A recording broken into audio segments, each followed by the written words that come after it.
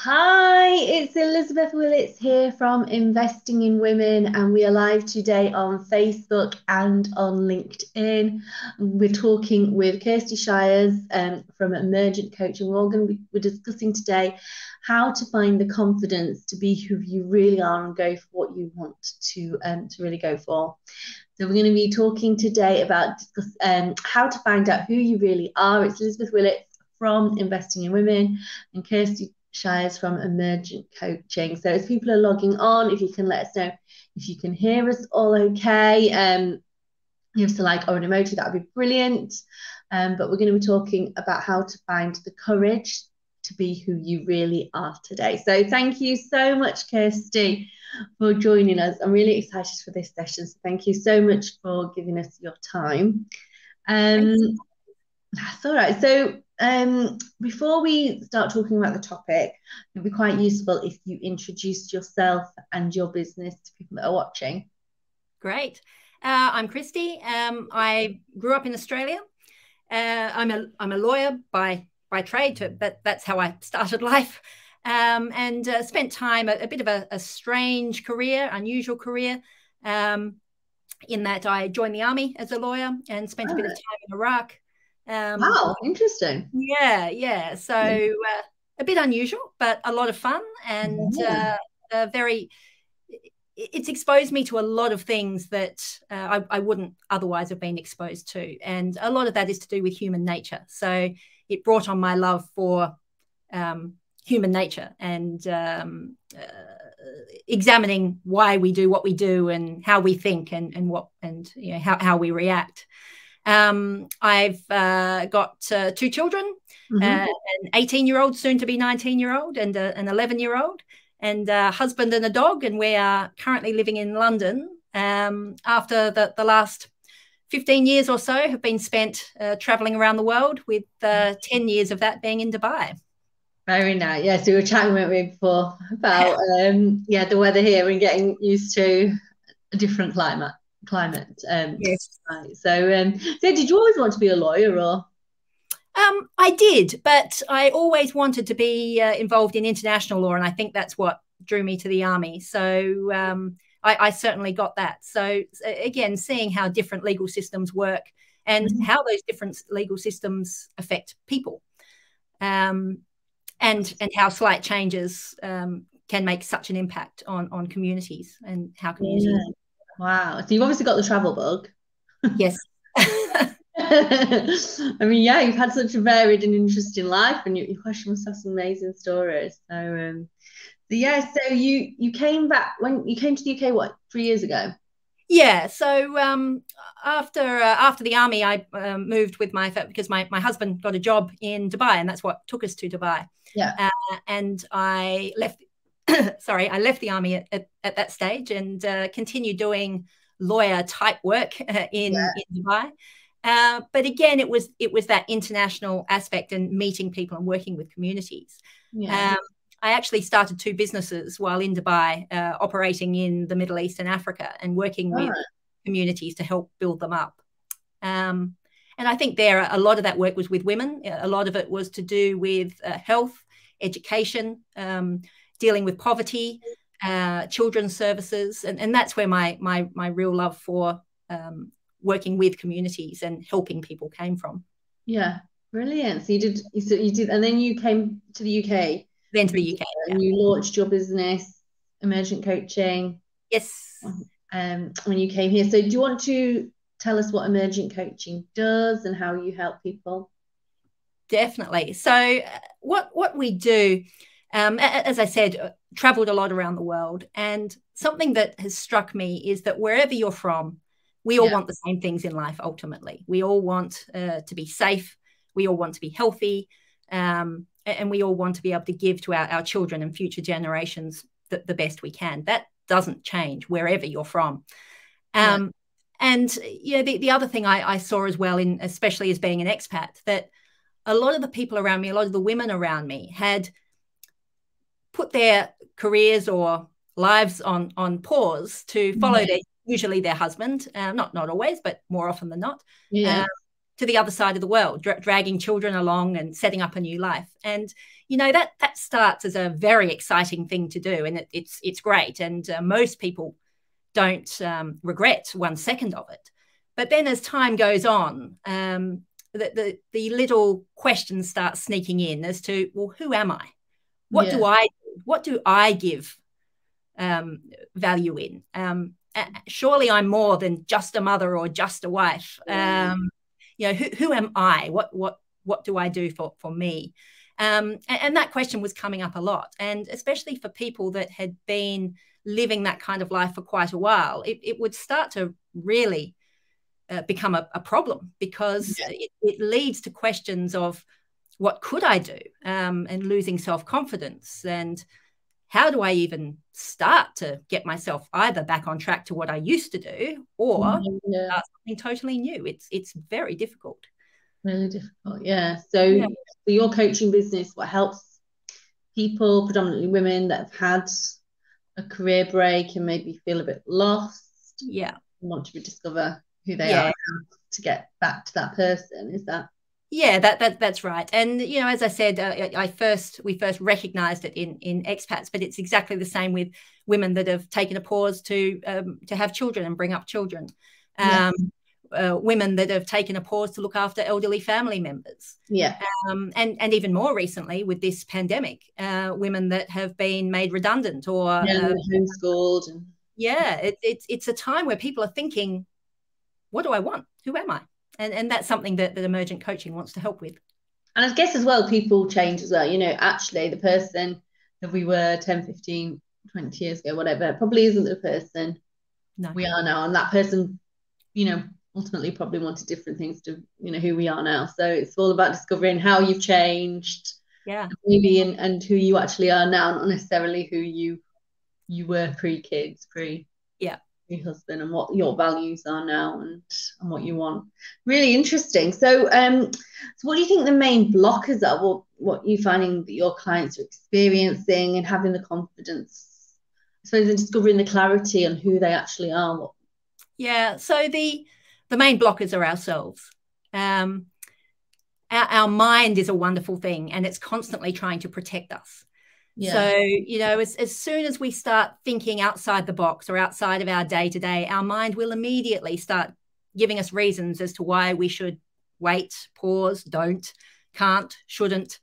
Um, and it kicks in immediately. So um, I, I, don't know uh, whether uh, this resonates with people, but you know, we, we hear our, our mind saying things like, I can't do this, I'm not good at yeah. that. Um, maybe now's not the right time. Maybe I need to wait um, what will people think of me? Yeah. Um, you know, what if I'm not in the head because I'm like, yeah, yeah. yeah. yeah. So I think these are things that we all think at, at different parts of it, parts of our lives. Yeah. Um, what if it doesn't work? Um, and, and our mind immediately starts giving us these warnings. So uh, they're, they're, things that we, we do need to acknowledge but yeah, go uh, and and and don't let it get in the way of thinking about what you want to do. It, it may well be a practical thing that you do need to think of. Um, life is yeah. not easy, but we need to put that in perspective. So we we find that's the main blocker. Yeah. So people, I mean, is it sort of tied into the imposter syndrome? Is that? Yeah. Yeah. Yeah. Yeah. I mean, I, I can remember as a child, I was not. Um, I, at some point, I was told I was not good at drawing or painting or art. I, I, haven't drawn anything since I was about eight years old, but still, um, you know, all these years later, um, if anyone asks me, I'll say I'm not good at art, and that became yeah. somewhere in my head. I'm not very creative. Um, yeah, so it's I, yeah, it's a self-fulfilling yeah. prophecy, really. Then. Yeah, yeah, yeah. It's interesting. Yeah, so it is basically what we tell our often what we tell ourselves we're not good at this, we can't do that. No. Um, so it's just sort of reframing that. Um, so what would you, what advice would you say to somebody then that came in to a session with you and said, I've got this idea I really want to do, but I can't do it, um, you know, because of X, Y, Z. Yeah. yeah the first thing is is recognizing it and, and you know I, I, actually did this the other day with with something i'm working on if, if you sit and think so say for example you go to a quiet place um, no kids no husbands no noise and you say to yourself very earnestly and very sincerely, I'm going to become a successful businesswoman. Then you sit back, or, or whatever it is you want to you want Yeah, to yeah. Then you sit back, and more often than not, you will hear the chatter start immediately. Yeah. You'll hear the but. What if? What if you can't do that? Or have you thought about? Or you know, you don't have time. And all these thoughts will come up immediately. But just by recognizing that Mhm. is a really good first step. At least then you can recognize what comes up um, and and recognize it for what it is. It, it's not easy. You can't just turn it off. Um, Yeah. that years of practice if you ever get there. But just recognizing it really helps. Yeah. You know, I think it's something like I've heard other people sort of say, actually, the way, and, and this is probably something that we all need to work on, that it's becoming, becoming quite uncomfortable, becoming comfortable with feeling uncomfortable. Yes. Yeah. And I've heard that, and I thought that actually did resonate with me. Um, so yeah, like you say, we probably, you know, thing is, you nail something, you might have nailed, you know, you might think I've got the mother thing down, but then it's sort of like, or we're always, if we're growing and evolving, we're always stepping out of our comfort zone, and so there's probably always going to be an element of imposter syndrome as we grow and evolve Yes. people. So um, so yeah, I suppose it is just getting yeah, recognizing it for what it is, and you know, it is a normal part of you know our psyche as we sort of grow and evolve. So um, so yeah, so I suppose another question would be, how do you help people then? They come to you, and they say, I'm completely lost, I want to change, I want whatever. So how do you help somebody that want knows they want to change, but they're not sure what? Yeah. Yeah.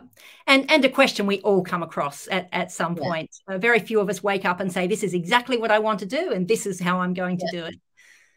Um, so so the first one is, and and we we have um uh, we, we coach uh, uh, we, we have a, a journey to emergence program and Yeah. that through three stages Mhm. uh, and we, we call them courage, clarity, and emergence. And courage is, is what we've just been talking about.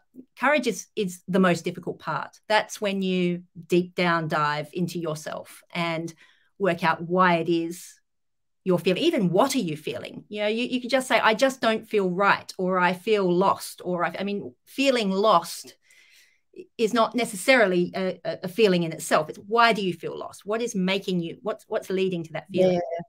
Um, and, and as I said, that that's hard because sometimes we have to examine things that we don't that, that we're not comfortable with. So, for example, um, when I uh, had my when I had my son, my, my first child, and I was I was working in the army at, at that stage, um, and I couldn't wait to get back to work uh, after having him. Um, it wasn't uh, for me. I, I, loved him very much. Don't get me wrong, but yeah. for me, I, I, loved going back to work and not worrying about changing nappies and talking about um, you know wild things and how many how much has he had to, to eat today? And I, I loved going back to work. And that had an enormous feeling of guilt.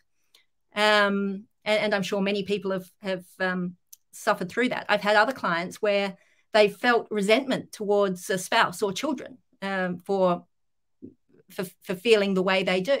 And it's really hard to acknowledge that that's the way you feel when it's those really negative feelings. Um, and it hurts. It's it's hard but it's it's important that you get to that stage so you can look for the clarity which is the next stage. Yeah. um, the, the, the clarity is um, looking at um, why do what, what what does this mean? What what do i want from this? Yeah. Um and you know we we can look at things like um dreams and aspirations and so some some things that that uh, a, a, little exercise we, we often do with clients is uh, you, you all remember the question when when you're a child what do you want to be when you grow up? Yeah yeah. Uh, ask yourself that. Um, and and not only now but how did you answer that when you were a child? Did you want to be a princess? Did you want to be a doctor? Did you want to be whatever you were. And and you'll probably find that there's still something in that. So okay, maybe you really do want to be, be a princess now, and, and that, yes. that's fine. but, but it's it's not just you know what did that mean to you? Did did yeah. what did the princess symbolize to you? Are you talking about kindness and doing good things and helping people and Um, or, you know, if you, and same thing, if you want to be a doctor, it doesn't mean that you now want to go and get a medical degree, but what aspects of that still resonate with you? Yeah. Um, really interesting. I like, yes, it's, you know, your if you might, I mean, I'm, I, I wanted to be a teacher, unless I'm not a teacher, um, but I suppose it's the whole helping other people and, and guiding them and, and getting them to where they need to go. So that's it does it's funny, isn't it, how we actually end up in something now you've said that that maybe we didn't think we'd done, but actually there is that synergy. Yeah, yeah, definitely. And, and the other thing that's useful to do is explore your values. What what, what values do you most strongly hold? Um, yes. Because your values are part of you. And if you're not, if, if in the things you're doing day to day, you're not meeting your values, then you're going to feel not quite right. You're going to feel out of sync with yourself. Um, so, for example, uh, if your the values you hold the highest are integrity, kindness, empathy, then that will point you in a direction of the kind of thing you want to do. If uh, innovation and creativity are your most highly held values, then that will take you in a direction you want to go.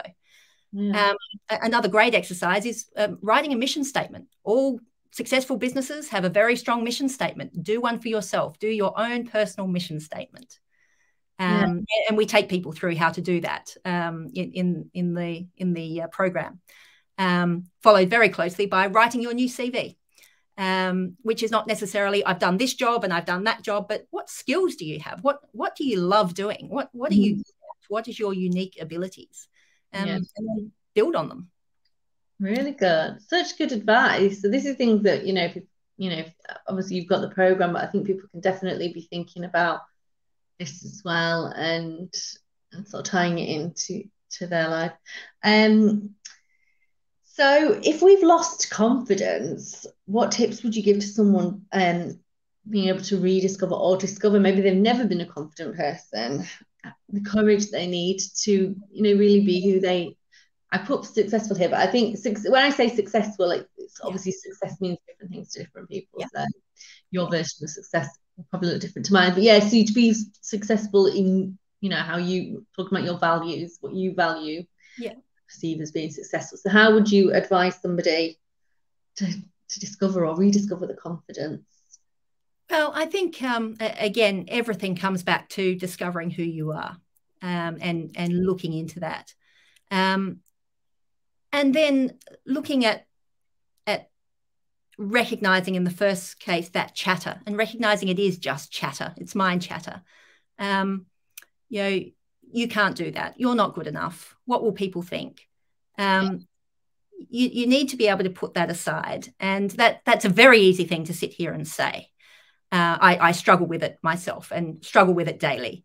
Um, but I think again, just recognizing it is a good start. So what what we what we try to do or, or try to encourage people to do is recognize it's there don't fight it don't try to get rid of it but then just put it aside so and, and that's another reason why we've put the program into three distinct parts courage clarity emergence in the clarity side we're not looking at the why can't we do something that that comes later because as i mm. said there are realities to life. You know, we, we don't have unlimited funds. We we do have responsibilities that yeah. we, you know, so we, we can't ignore that. Uh, we don't live in a fantasy land. But before we get to that stage, we need to look at what we want to do. So when we're looking at our dreams and aspirations, you know, I'd I'd love to open my own restaurant. Then think that out. Think out your restaurant. Now the practicalities may be we just don't have the funds to do that right now. Mm-hmm. Um, or you know I, I can't be dragging children to, I, am a sole uh, carer i can't be dragging children to and from but you've got that start. I want to run a restaurant. Then when you start to get into the emergence part which is let's put this into into a reality. Let's start looking at a workable plan. Sure maybe you can't run a restaurant.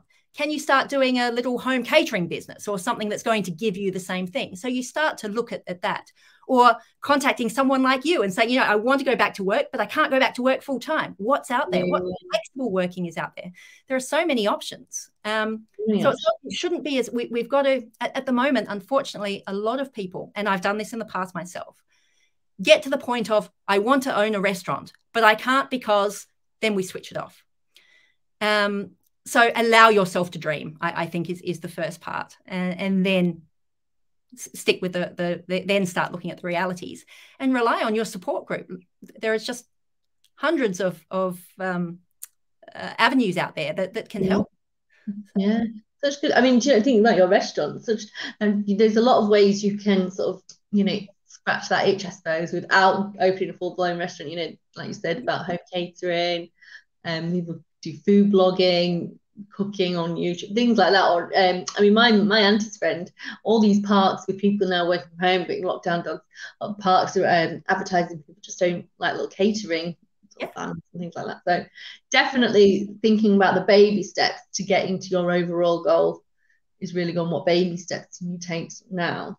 Yeah. Help, yeah, get you there eventually, or you know, it might just take you off on a slightly different, yeah, yeah, different pivot, but that's not a bad, always a bad thing.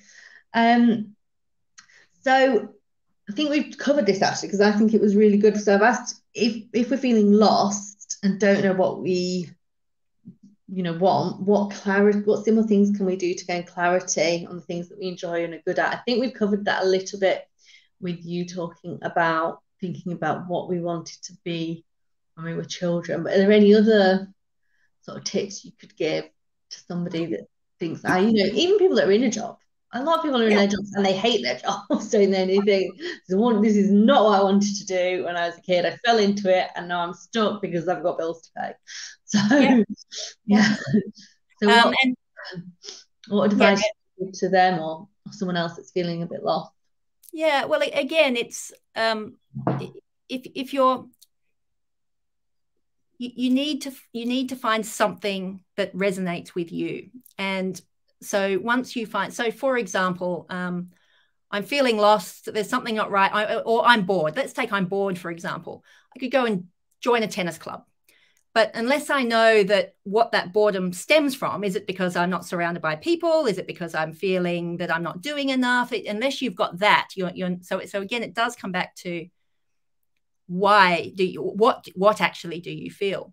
Um, if, if you've got no idea, um, and and many don't, um, another thing is starting with, I, mentioned earlier, uh, writing a CV. Yeah. Um, sit down and write your CV. And uh, when I, as, as, I said earlier, I don't mean a CV as in, you know, these are the jobs I've had in the past, but you think of the skills that you have or the things you enjoy doing.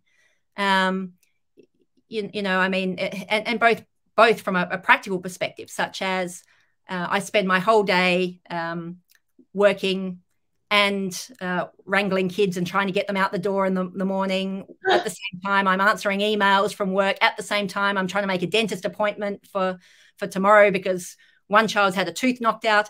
Um, I mean, that's a skill.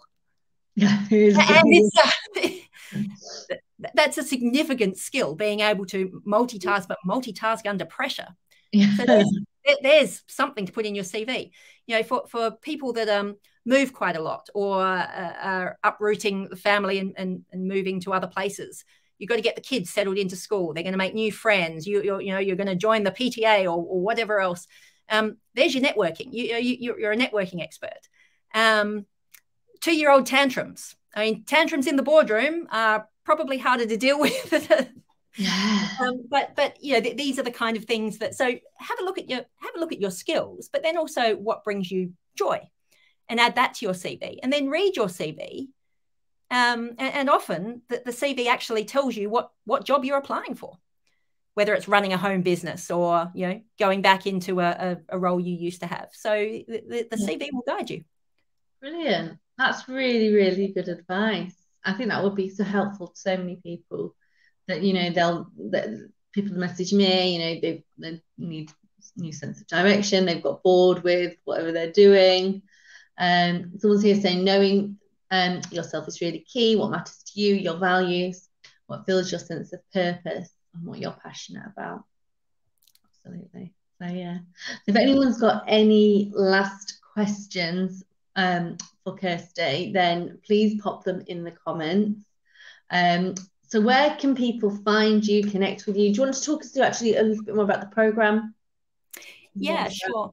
Um, so as, as I said, it's um, uh, a three phase program, uh, our Journey to Emergence program, and it uh, goes through the areas we've just covered in, in courage, clarity, and emergence.